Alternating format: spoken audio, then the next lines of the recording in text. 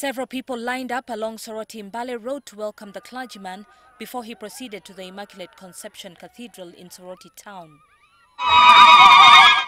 He will be consecrated as the third bishop for Soroti Catholic Diocese on 25th May.